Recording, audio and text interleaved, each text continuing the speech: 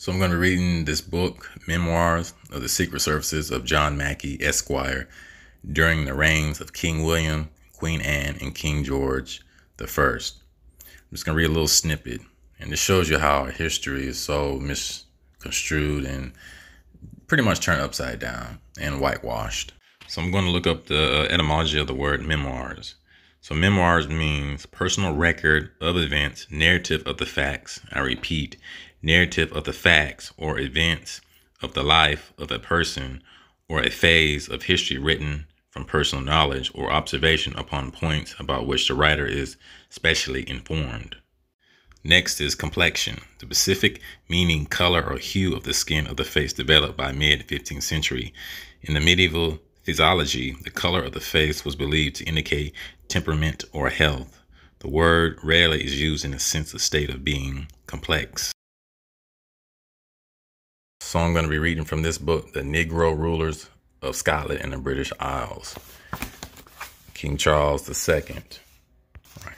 Now it says, um, this is a picture of him, so-called black man, swarthy, tawny. The Protestant and Catholic King Charles II was the son of Charles I, who was beheaded in AD 1649. Prior to his death of his father, the young prince exiled to France to live among the Medicis, who were of his mother's side. While residing in France, a parliamentary exhibit a wanted poster throughout England for his arrest.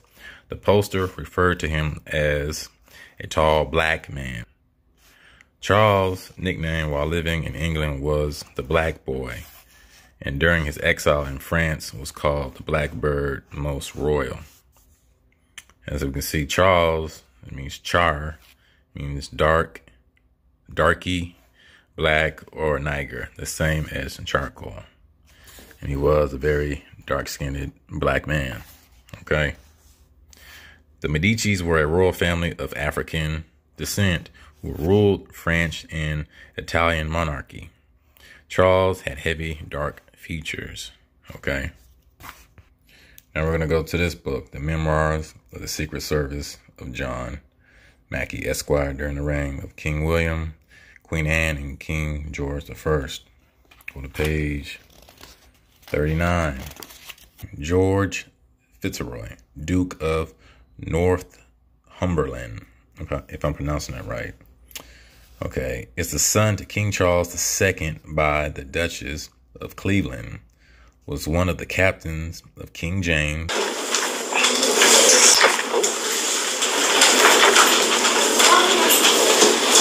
Scott? Mm-hmm. Uh, did you possibly switch chairs with me?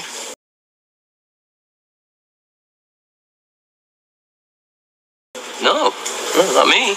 Are you sure? Yeah. Good luck finding your chair, LeBron. Okay. Um, Horfgard, if I'm pronouncing it right, which he quitted at the revolution and never had any um, plot though sometimes presents from the king all King William's reign. On the queen's uh, affliction to the throne, he was made comfortable of Winford Castle and Lieutenant General and had my Lord of Oxford Regiment of Horde. Here we go right here.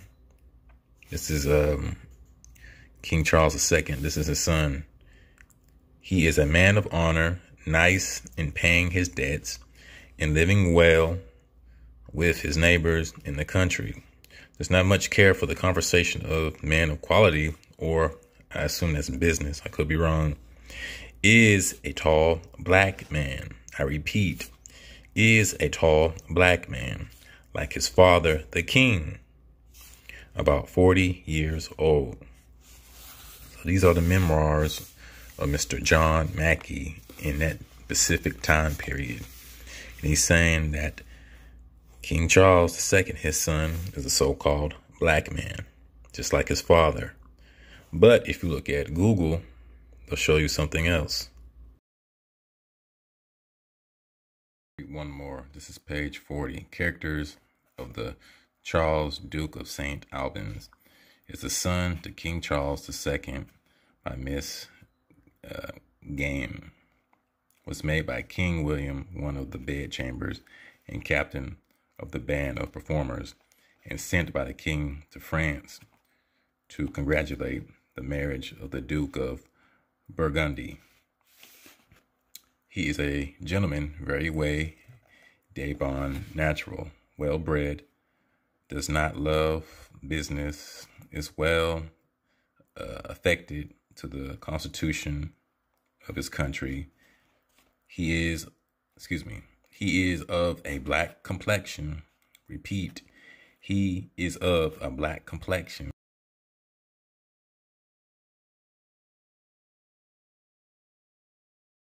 Not too tall as the Duke of Northumberland, yet very like King Charles. Turned of 30 years old. See that? He is of a black complexion. Now we know the definition of complexion, which means hue or dark in the face. No eyebrows, no hair. This was a so-called black man. So the one thing with history, you know, it's told by winners. But also, you know, when you actually start to buy the books and you start to do the research and then you start to, um, you know, come to the realization that most of what you learn in high school, elementary school, preschool, it's all narratives. Like a lot of the headlines in America, everything is based on narratives. It's not based on historical truths or facts. So there's an Internet Archive, which has many books from the 18, 17, probably even beyond that, where you have to read between the lines and have a reading comprehension to understand certain words or the etymology of certain words like swarthy or tawny because they're going to give you the complexion, the hue, melanin of that person. See, all the images of the black nobility in Europe are all fake portraits. They're not historically correct.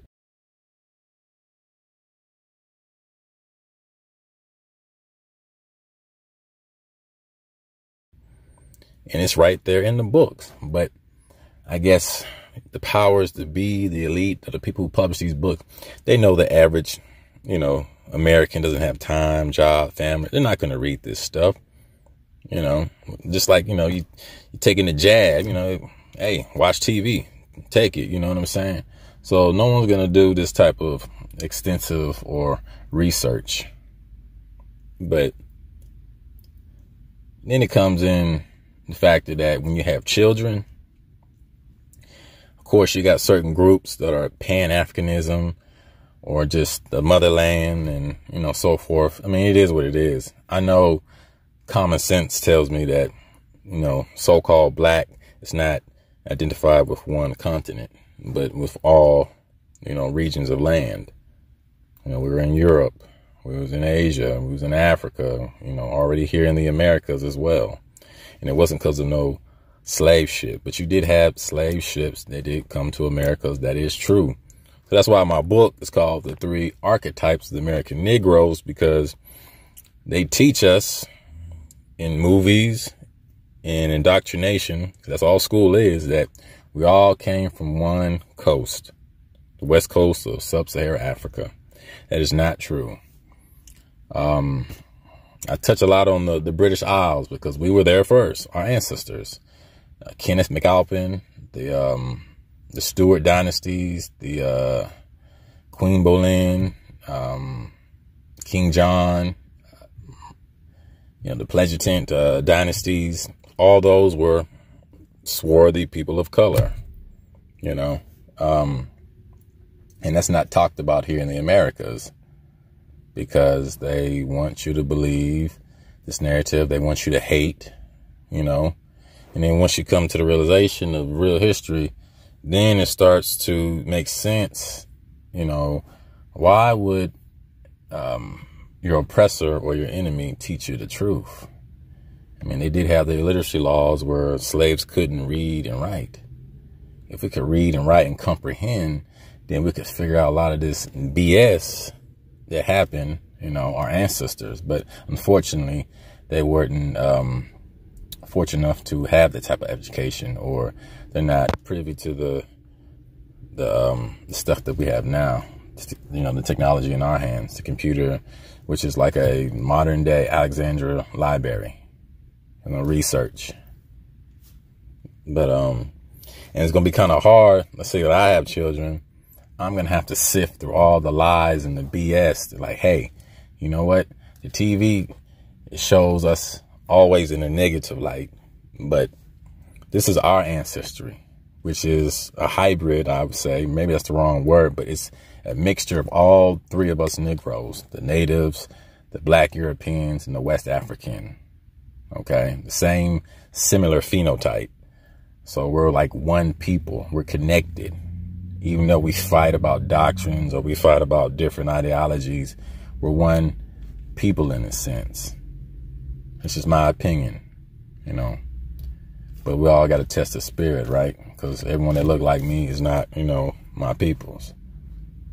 But um, that's gonna be the hard part. And anyway, you should be teaching your children um, real history anyway.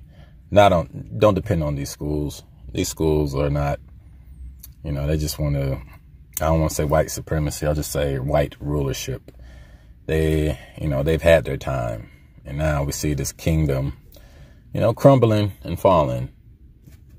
You know, but buy books while you can. Use the internet for good. Use it for research. Use it as a tool to enlighten or get some wisdom. Because of much wisdom, there's much sorrow as well. But uh, peace and shalom.